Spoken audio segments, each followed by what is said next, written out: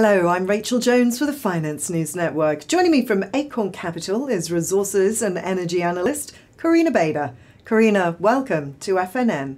Hi, Rachel. Thanks for having me. Now, to the non specialist investor, the junior resources space could look like a casino based on luck and tips from contacts. Is it possible to create consistent returns out of the junior resources sector? Yes, it certainly is. And that's something that we aim to do at Acorn Capital is to create those consistent returns for our investors as resource companies move from explorers to developers to producers, regardless of commodity price movements. Uh, there's a well-known chart called the Lassonde curve that shows captures that share price movement as companies move through those different stages. And we often refer to it a lot in our investment process. So let's talk a little bit more about the Lassonde curve. Why is this so relevant? The Lassonde curve tries to demonstrate how the share price of companies move as they move through this development stages. Stage one is an exploration stage, stage two is considered the development stage, and stage three is the production stage. Now, the reason that those stages are relevant is that they demonstrate the share price movement as companies develop and progress their projects.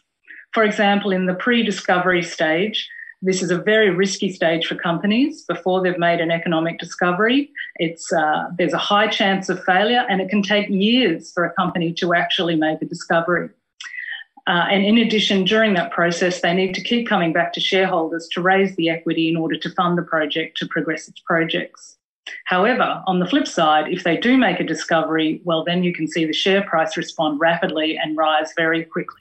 So, could you explain why the curve shows a dip and flattening after a discovery? So, this is one of the most risky stages a company can go through. After they've made that initial discovery, there's a range of technical studies that need to be completed to demonstrate the project is actually economic and able to be developed. Some projects never pass this stage, and again, it's very time and capital intensive.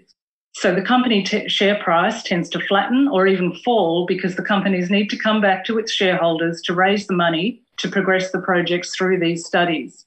In addition, there's a range of government mandated approvals processes that each project needs to meet before it can ever be considered economic. And those timelines are often outside the control of the company. So these companies need to ensure that they've got enough working capital to actually meet those requirements. And again, they're coming back to their shareholders to raise that equity, resulting in dilution for shareholders. Thanks, Karina. Now, you've covered stages one and two of the curve. Can you now explain the share price movement as a company transitions into production? So, this is the stage where the project has now been deemed to be economic. It's now got all of its government approvals and it's ready to move into production. It's commonly called in the industry FID or financial investment decision. So, this is the stage of the curve where it should be the last time that the company needs to come back to its shareholders to raise equity to build this project. And in addition, they're often raising debt as well to complete that process uh, and to get the company into production, ultimately leading, hopefully, to free cash flow, which is then returned to shareholders as returns. Thanks, Karina. To the last question now.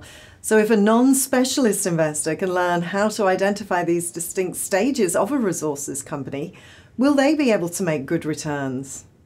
Look, it's true that most uh, specialist resource investors in this space would classify companies in these three stages. However, at Acorn, we consider our key point of difference is we then take those three stages and split them out into 11 different stages.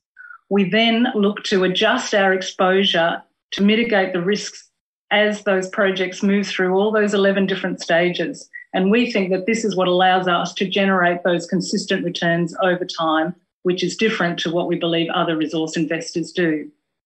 For example, Acorn Capital first invested in Kidman Resources pre discovery of their Earl Grey lithium deposit. We then managed our investment as it moved from that discovery phase into the development phase and ultimately got taken out by Wesfarmers. Another example would be Galaxy Resources, where we invested at a pre production stage. In fact, we invested in them post the last lithium price collapse back in 2013 when they mothballed their original uh, mine. We managed our investment through the process of them deleveraging, refurbishment of the plant, getting it into production and cash flow, and ultimately we divested the project or the company at that stage. Karina Bader, thanks so much for sharing your expertise and time with us today. Thanks very much, Rachel.